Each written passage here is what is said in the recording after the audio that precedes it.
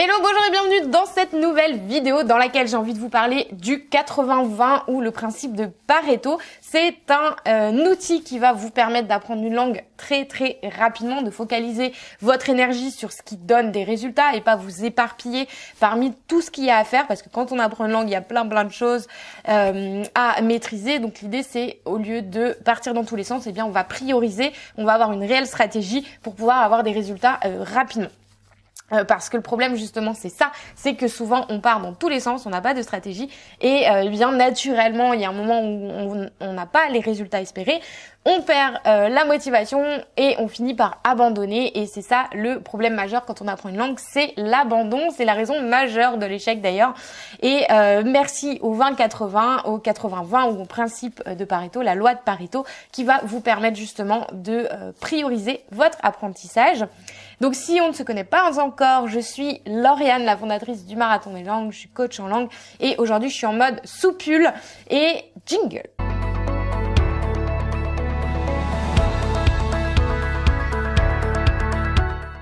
Alors juste avant de vous expliquer comment mettre en place le 80-20, je vais y arriver avec cette mèche rebelle, le 80-20 dans votre apprentissage des langues, eh bien je vous invite à télécharger si ce n'est pas encore fait le kit 7 euh, jours gratuit pour savoir comment bien démarrer dans l'apprentissage des langues. Vous pouvez le retrouver juste en dessous en description ou juste ici.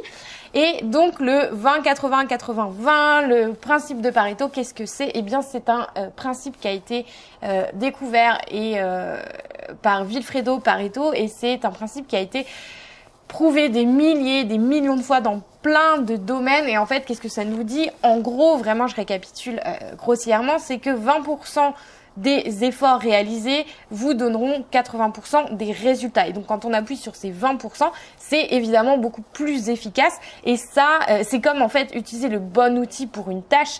Euh, si vous n'allez pas bêcher votre jardin avec une fourchette ou une petite cuillère, quand vous avez le, bon outil, eh bien forcément ça donnera des résultats plus euh, rapidement. J'exagère, je le fais exprès, j'appuie là-dessus pour que vous ayez vraiment l'image de, euh, de ce qu'on fait actuellement malheureusement dans l'apprentissage des langues. Donc comment on fait aujourd'hui pour appliquer le 80-20 dans les langues? En fait, il y a trois choses très importantes. C'est la première chose, c'est de vous focaliser sur les bons mots de vocabulaire.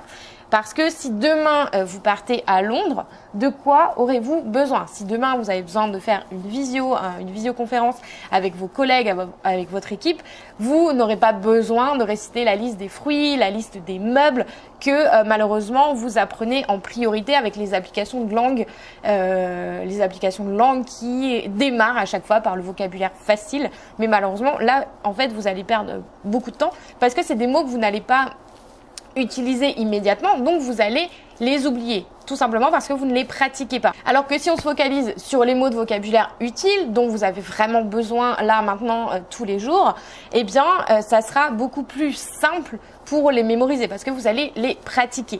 Euh, d'ailleurs, si je vous dis qu'en anglais il y a plus de 5000 mots et que vous apprenez vraiment tous ces mots sans prioriser, vous allez, c'est là en fait, vous allez perdre beaucoup de temps parce que vous allez accumuler, accumuler, accumuler du savoir, mais si vous ne le pratiquez pas, eh bien ça va être difficile de les ressortir. Et c'est pour ça, c'est souvent de là aussi euh, d'où vient le, blocage à l'oral, c'est qu'on a un fouillis d'informations, mais vu que c'est pas priorisé, eh bien euh, malheureusement bah, tout se perd.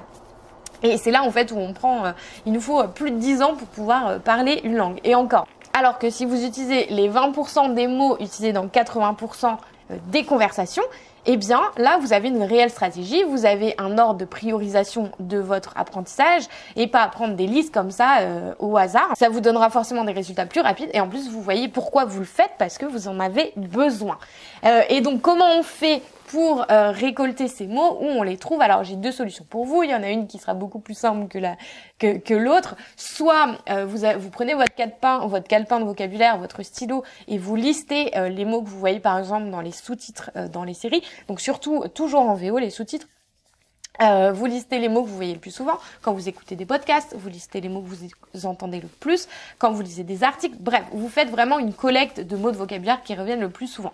Ou alors, moi je vous propose, c'est ce que j'ai passé un été enfermé à vous créer ça. Ce sont les fiches pédagogiques euh, d'anglais que vous retrouvez juste ici ou les fiches pédagogiques d'espagnol que vous retrouvez ici, dans lesquelles en fait je vous ai collecté tous les mots de vocabulaire qui sont les plus utilisés euh, dans la langue pour pouvoir les mettre en pratique le plus vite possible. Il n'y a pas de super on n'apprend pas tout par cœur parce que au début, vous avez encore une fois besoin de euh, d'un minimum pour pouvoir pratiquer et ensuite vous viendrez agrémenter avec plus de mots de vocabulaire. Et ça, donc vous retrouvez le lien en description ou vous retrouvez le lien juste ici euh, pour retrouver les fiches. Et ce que vous pouvez faire également, euh, la deuxième action quand vous apprenez une langue, c'est d'appliquer le 20-80 sur le vocabulaire et la grammaire de la même manière. Parce que souvent, ce qu'on fait quand on apprend une langue, c'est qu'on apprend toutes les personnes. Je, tu, il, nous, vous, il. Et on apprend tout. Alors ça paraît intuitif parce que euh, voilà, c'est une liste, c'est la suite. Sauf que, alors je sais pas vous comment ça se passe, mais j'ai toujours eu du mal dans n'importe quelle langue avec le, le nous et, euh, et parce que je me refaisais toute la liste, je, tu, il, et en fait ça prend du temps quand vous êtes à l'oral, alors que les personnes les plus utilisées euh, dans une langue, c'est je et tu. Donc si vous apprenez ces deux personnes et la conjugaison qui va avec euh, dès le début de votre apprentissage, eh bien, quand vous parlerez à l'oral, vous avez une chance sur deux que ça soit l'une ou l'autre. Donc ça sera euh, de la même manière plus rapide pour vous pour, pour pratiquer.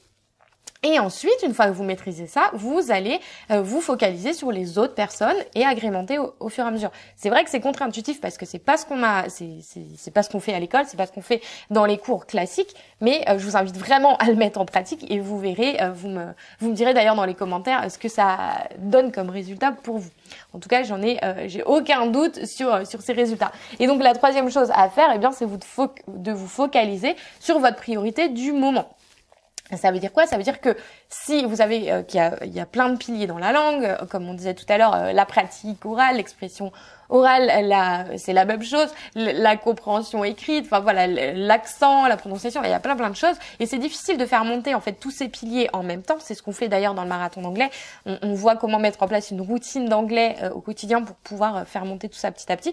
Mais si euh, vous manquez de temps et que vous êtes, voilà, vous avez besoin d'avoir des résultats rapides justement pour nourrir cette motivation, focalisez-vous sur votre priorité. Si aujourd'hui vous avez besoin de débloquer ou sur votre challenge du moment, si vous avez besoin de débloquer votre oral euh, votre, accent, votre prononciation, peu importe, choisissez votre priorité et axez euh, le 2080 là-dessus. D'ailleurs, je vous ai fait une autre vidéo, euh, je vous mets le lien juste ici, une autre vidéo sur le 90-90 et ça, euh, vraiment, si vous utilisez le 20-80 et le 90-91, euh, eh bien, vous allez avoir des résultats euh, dingues. En trois mois, vous allez faire décoller votre niveau, ça j'en suis convaincue. surtout, dites-moi, dites-moi dans les commentaires ou envoyez-moi un mail pour me dire quand, pour nous, pour nous faire part de vos avancées, parce que souvent, ça j'adore, je reçois des, des mails de mes abonnés, de mes élèves, pour me dire où ils en sont et la méthode qu'ils ont appliquée, et ils sont super contents, et forcément moi aussi. Du coup, n'hésitez pas à me, à me faire part de vos résultats, c'est vraiment euh, un plaisir de vous lire. Donc euh, et on vous répondra, hein, que ce soit moi ou euh, un membre de mon équipe, on, répond vraiment à tous les messages, on essaie en tout cas à répondre un maximum. Qu'est-ce que je voulais vous dire d'autre? Oui, maintenant, eh bien, passage à l'action. Votre action, votre mission là tout de suite, c'est immédiatement de prendre votre calepin de vocabulaire, votre stylo et commencer à récolter euh, les mots de vocabulaire dont vous avez vraiment besoin. Vous posez la question euh, de quoi vous avez besoin au quotidien. Est-ce que c'est dans un milieu professionnel? Est-ce que c'est dans Est-ce que c'est pour le voyage? Posez-vous la question pourquoi vous apprenez la langue? Et ça, ça va vous orienter pour faire votre liste.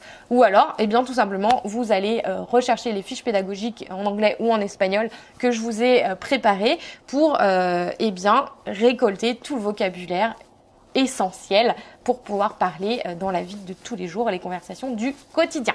J'espère que vous avez aimé cette vidéo. Dites-moi en commentaire, partagez-la si vous pensez qu'elle puisse être utile à quelqu'un. Ça m'aidera à être plus visible et à aider encore plus de personnes. Et, euh, et je vous dis à plus tard dans la prochaine vidéo. Ciao